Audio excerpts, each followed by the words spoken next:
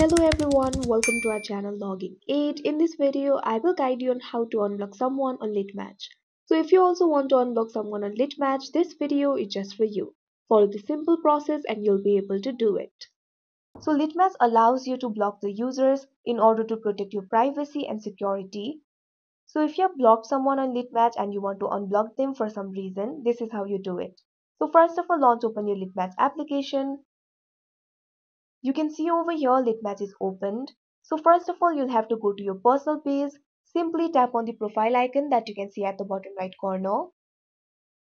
Now you'll be led to this kind of interface. You can see your profile over here.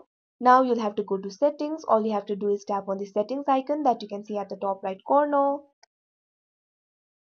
Now you can see over here settings is opened. You can see several options over here.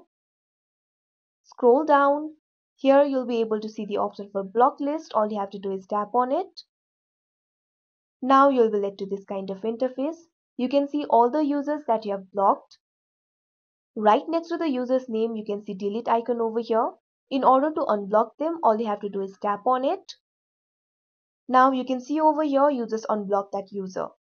So that is how you unblock someone on Litmatch. I hope you found this video helpful. Thank you for watching. Make sure to like, share and subscribe to our channel.